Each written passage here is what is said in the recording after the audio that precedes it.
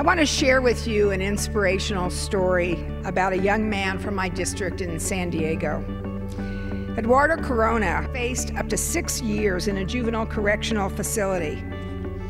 Instead of going to that facility, the judge met with him and spoke with him and allowed Eduardo to participate in a mentoring program called Reality Changers. I've had an opportunity to meet with the young people in that program, and I can tell you they are inspirational uh, and very engaged in, in their lives and hoping to change the community someday. Reality Changers brings at risk youth in San Diego together with their mentors half of which are college students from the University of California, San Diego. And for about three hours a week, over four year time, these mentees study with their peer mentors, they take weekly practice, SAT tests, do homework together, listen to guest speakers, and take part in leadership development seminars.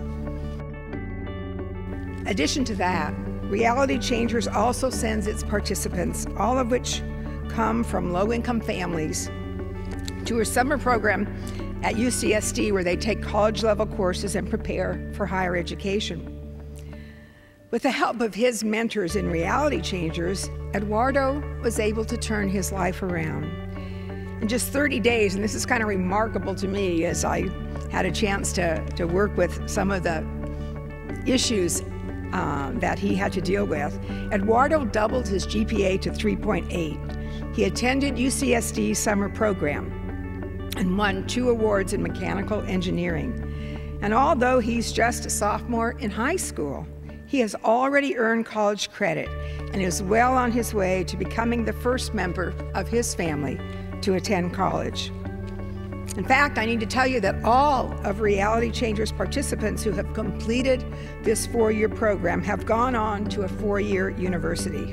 Not bad, considering all of these young people are the first in their families to attend college. I think Eduardo's story really tells us and proves that with the right role models and people who truly care about them, our society's most challenged youth, challenged in many different ways, can turn their lives around and become leaders in our community. I ask all my colleagues to join me in support of increased funding for our nation's mentoring programs because we know that with that help, we can replicate Eduardo's success all around the country.